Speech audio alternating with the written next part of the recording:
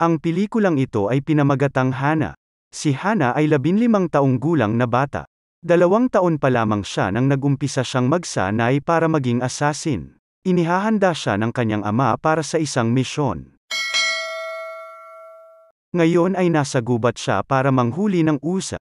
Sa isang pana ay natamaan niya ang katawan nito. Nagawa pa nitong makatakbo. Pero di nagtagal ay nanghina at nabuwal din. Bahagi ito ng kanyang pagsasanay. Sa puso kita dapat tinamaan. Kaya binaril niya uli ito sa puso. At tinanggalan ng lamang loob. Maya-maya ay may lalaking sumulpot sa likuran niya. Ito ay si Eric ang kanyang ama, na nagsasanay sa kanya para lumaban. Natalo siya nito. Bilang parusa, kailangan niyang iuwi mag-isa ang nahuli niya. Hinila niya pa uwi ang usa. Sa kubo na ito sila nakatira. Sa gubat siya pinalaki ng kanyang ama na dating CIA agent. Itinuro nito sa kanya ang lahat ng kailangan niyang matutunan sa school. Hinasa din siya sa iba't ibang lingwahe. Ang kanyang ina naman ay sa litrato na lamang niya naaalala. Araw-araw siyang nagsasanay kaya bihasa na siya sa baril at sa iba pang uri ng pakikipaglaban. Kasabay nito ay kinakabisado niya ang mga impormasyon na inimbento nila tungkol sa pagkatao niya. Nakatira kami sa 7 Weisinger Plus. Nag-aaral ako sa Klaus Call Gymnasium. Ang mga kaibigan ko ay sina Rudy Gunther at Clara Schlisch. At may aso ako nagngangalang Trudy. Kabilin-bilinan ni Eric na maging alerto siya kahit sa oras ng pagtulog. Tinutukan siya nito ng baril. Sa pagkakataong ito ay nagawa niyang talunin ang kanyang ama. Handa na ako. Handa na siyang sumabak sa kanyang misyon, ang patayin si Marisa Wigler. Habang nasa labas siya ay may dumaan na eroplano. Unang beses niyang makakita nito kaya manghang-mangha siya. Nakita mo ba? Katunog niya yung kulog at napakaganda niya! Sa di kalayuan ng bahay ay may hinukay si Eric, isang device na magtuturo sa kalaban ng kanilang kinaroroonan. Ipinakita niya ito kay Hannah. Kung sa tingin mo handa ka nang umalis dito, ang kailangan mo lang gawin ay buksan ang switch. Pag binuksan niya ito ay wala nang atrasan pa. Hindi na kita maaalalayan. Kaya siguruhin mo na iyon ang gusto mong mangyari. Binigyan siya nito ng panahon para makapag-isip. Aalis si Eric para mangaso. Mas pinili niya na manatili sa bahay kesa sumama dito. Matagal niyang tinitigan ang aparato. Maya-maya ay binuksan niya ito. Marisa Wigler, hanapin mo na ako. Bumalik si Eric nang walang nahuli. Nakita niya ang umiilaw na device. Bakas sa mukha niya ang pag-aalala. Takot din si Hannah sa pwedeng kahinatnan ng desisyon niya. Sa kabilang dako, nasa opisina si Marisa Wigler. Ibinalita sa kanya ng isang empleyado na may nasagap silang signal galing kay Eric. Si Marisa ay ang head ng CIA. Dati niyang tauhan si Eric.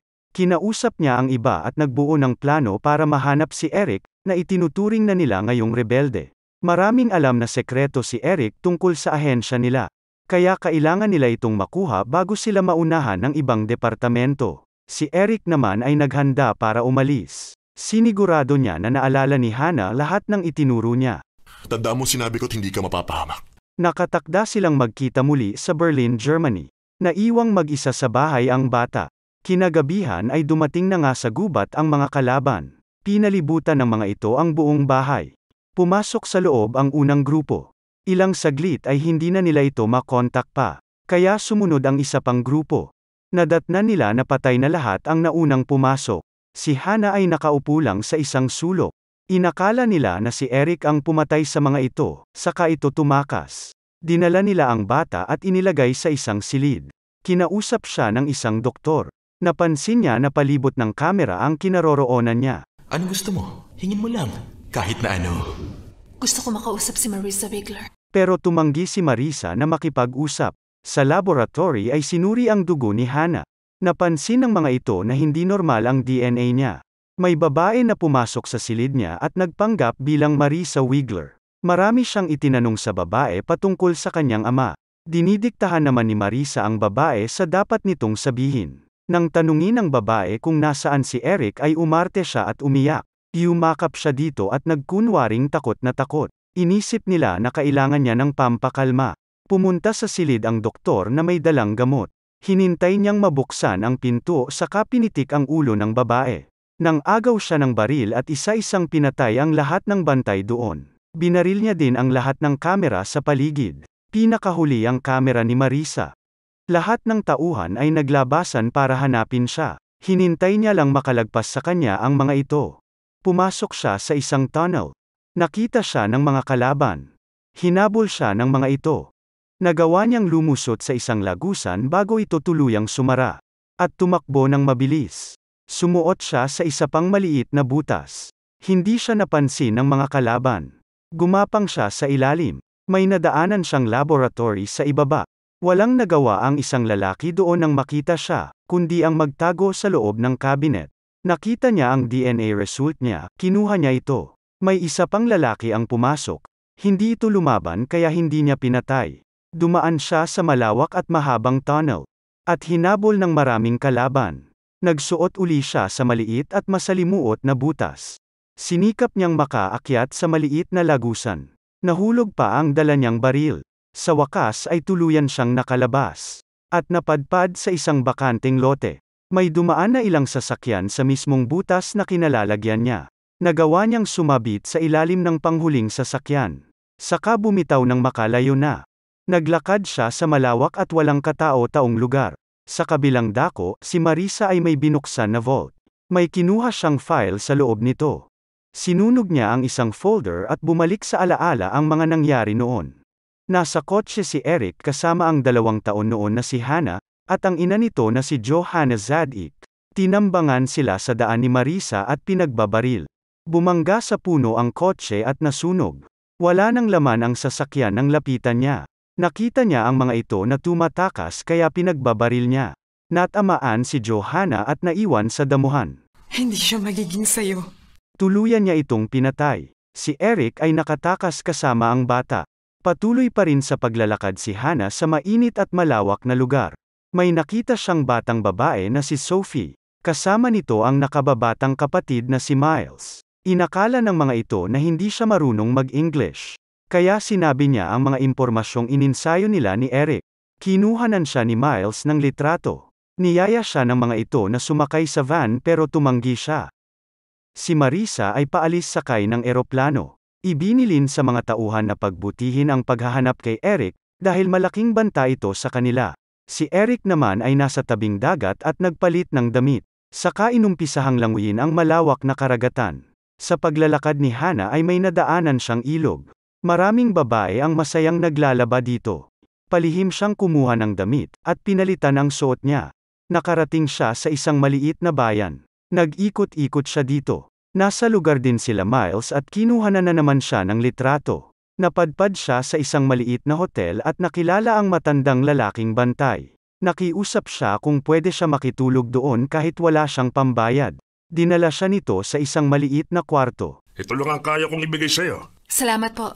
Palibhasa lumaki sa bundok na lampara lang ang gamit, ay manghang-mangha siya sa ilaw ng kwarto. Lahat po ng kwarto may ganitong ilaw? Binuksan nito ang electric kettle para sa kanya. Pati ang TV na lalo niyang ikinamangha. Napapailing na iniwan siya ng matanda. Ay, naku, sumasakit ang ulo ko sa bandang ito. Kumulo na ang tubig sa mesa kaya natarante siya. Pinindot niya ang lahat ng switch doon. Umikot ang lahat ng ceiling fan. Kasabay nito ang gyera na palabas sa TV at ang pagtunog ng telepono. Nasagi niya din ang shower sa banyo. Sa sobrang takot ay tumakbo siya palabas. Dito ay nakita niya uli ang magkapatid na si Sophie at Miles. Isinama siya ng mga ito na kumain kasabay ng mga magulang ng dalawa. Bumalik siya sa hotel at tiningnan ang resulta ng DNA niya. Ang nakalagay dito ay abnormal. Pumunta naman si Marisa sa isang bar na pag-aari ni Isaac, isang dating CIA agent. Kailangan niya ang lalaki para mahanap si Hannah. Binayaran niya ito ng malaking halaga. Pumunta sina Isaac sa hotel na tinuluyan ni Hannah. Iginapos nila ang matandang bantay at pinilit na magsalita. Nakita nila sa CCTV na sumampa ito sa van ng pamilya ni Sophie. Nalaman nila sa matanda na patungo sa pier ang mga ito, at sasakay ng barko patawid sa Espanya. Pagkatapos magsalita ay pinatay nila ang matanda. Narating na nila Sophie ang pier kasama si Hannah na nasa loob ng van. Kasunod na dumating ang grupo ni Isaac, pero hindi na nila naabutan ang barko. Umahon naman mula sa tubig si Eric. Hinarang siya ng dalawang pulis. Sa taas ng flyover ay may nag-aabang na tauhan ni Isaac. Nakita nito ang pagdaan ng van nila Sophie. Sinundan sila gamit ang motor. Tuwang-tuwa naman si Hannah na pinapanood ang kulitan ng buong pamilya ni Sophie. Napansin siya ni Miles at sinabihan na huwag mag-ingay. Kinabukasan, dalawang pulis ang natagpuang patay sa gilid ng dagat. Ito ang mga pulis na humarang kay Eric. Iniutos ni Marisa kay Mr. Lewis na ilihim ang pangyayaring yon. Tumigil uli sa isang lugar ang van nila Sophie. Lumabas siya sa kahon na pinagtataguan. Dahan-dahan na dumaan sa likod ng van. Pumunta siya sa plaza at nagtatakbo. Nakita siya ng lalaking nakamotor na sumunod sa kanila. Ipinaalam agad nito kay Isaac ang kinaroroonan nila. Nakarating naman siya sa isang pool. Habang umiinom siya dito ay lumitaw si Sophie sa tubig. Niyaya siya nito na makipag-date sa dalawang binatilyong nandoon. O sige. Ang dali mong kalad ka rin. Ha? Kinagabihan ay sumama nga sila sa dalawang lalaki sakay ng motor. Unang beses niya din makasakay ng motor kaya tuwang-tuwa siya. Nagpunta sila sa plaza. Pinanood ang isang grupo na nagkakasiyahan. Naupo sila malayo sa iba. Nang aktong hahalikan siya ng kasama ay binalibag niya ito. Pinigilan lang siya ni Sophie kaya pinakawalan niya. Sa mga oras na iyon ay nasa lugar na din ang grupo ni Isaac. Tiningnan ang bawat tent na nandoon. Si Marisa naman ay nagpunta sa bahay ng lola ni Hana. Nagulat ang matanda nang makita siya. Tinanong niya ito kung nasaan si Hana. Nang wala siyang makuhang impormasyon ay pinatay niya ito. Si Hana ay nakitulog katabi ni Sophie. Mas pinili niyang wag ipaalam ang tunay niyang pagkatao para sa kaligtasan ng pamilya nito. Binigyan siya ni Sophie ng bracelet tanda ng pagkakaibigan nila. Narating na ni Eric ang Berlin. Dito ay may ilan na nag-aabang sa kanyang pagdating. Pagbaba niya sa ground floor ay pinalibutan siya ng kalalakihan. Pinagtulungan siyang bugbugin. Napatay niya ang mga ito. Sa radyo na dala nila ay nalaman niya na mga tauhan ni Marisa ang mga nakalaban niya. Umalis na uli sa lugar ang van nila Sophie kasama si Hannah. Sinundan sila ng grupo ni Isaac. Nakita niya ang mga nakasunod na sasakyan pero hindi niya ito binigyang pansin. Nakatanggap naman ng tawag si Marisa galing kay Eric. Mabilis siyang nakahingi ng tulong sa isang tauhan. Biglang naputol ang tawag, kasabay nito ay may bumaril sa tauhan na kasama niya. Gumanti siya ng putok. Si Eric ang nasa labas. Nakapasok ito ng bahay pero hindi niya naabutan si Marisa. Naligaw nang pupuntahan ang van na sinasakyan ni Hana kaya huminto sila saglit. Kinabahan siya dahil nakasunod pa din sa kanila ang sasakyang nakita niya kanina. Nilapitan niya si Sophie at kinausap. Huwag kang sumunod sa akin. Mangako kang hindi mo ako susundan. Pangako. Salamat sa pagkakaibigan natin. Binuksan ang pinto sa likod at mabilis na tumakbo. Nakapasok siya sa isang malaking bodega. Naabutan siya ng mga ito at pinagtulungan. Pero nagawa niyang makawala. Nilabanan niya ang mga ito. Sinundan siya ni Sophie. Nakita siya na nakikipaglaban. Nasaksihan nito na napatay niya ang isa sa kalaban niya. Tumakbo ito palayo sa takot. Umakyat siya sa taas at nakipaghabulan sa mga ito. Nagawa niyang makatalon sa kabila.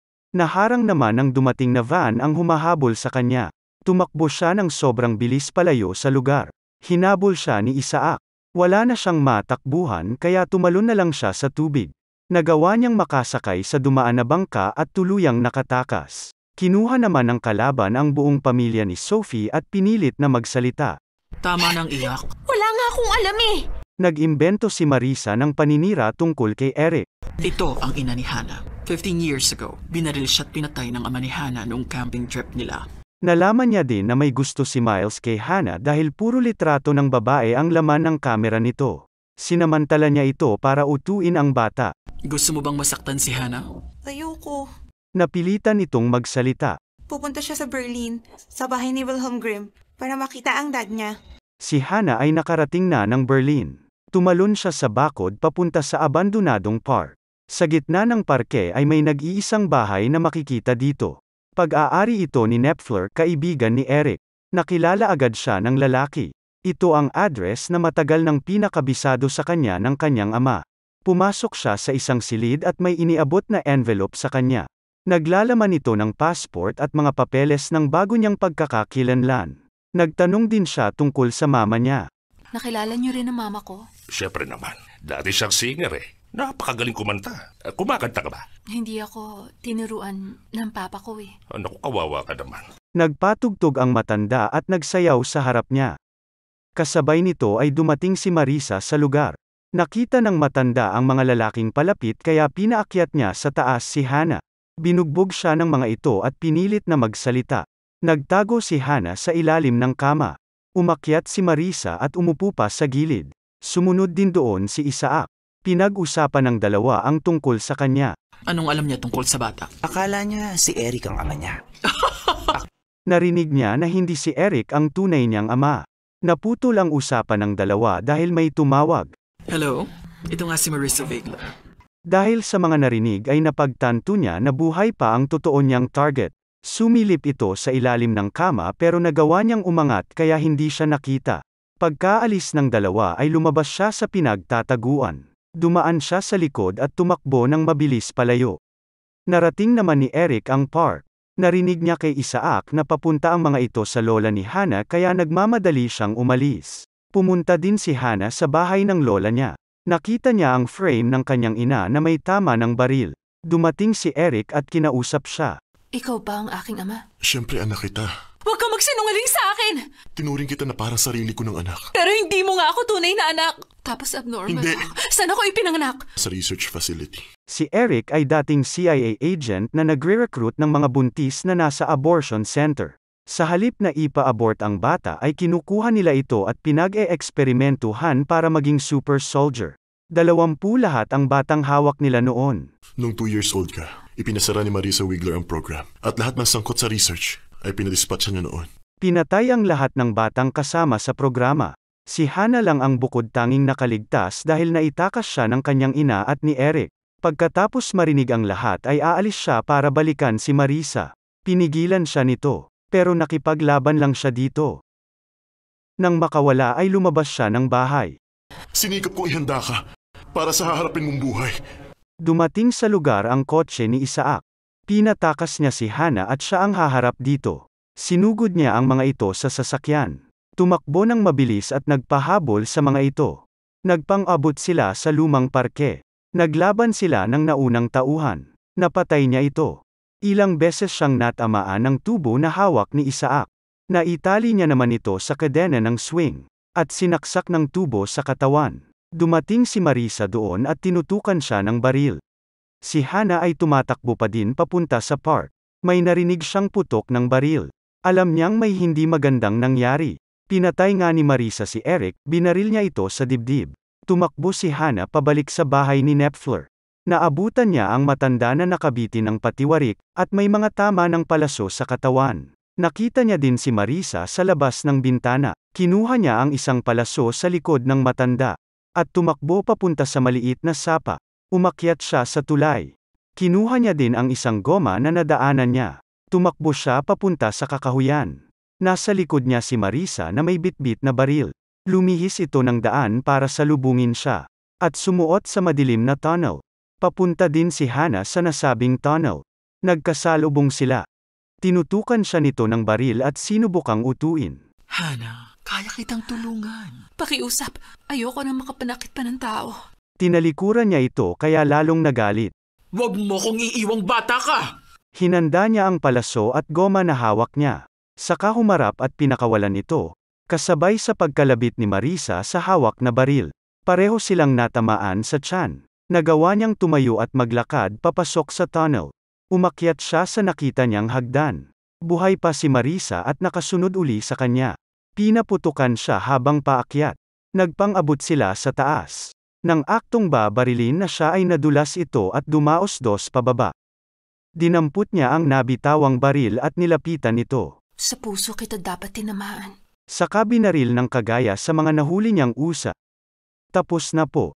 Huwag niyo po sanang kalimutan na mag-like at mag-subscribe sa aking channel para sa iba pang video. Maraming maraming salamat po sa panunood.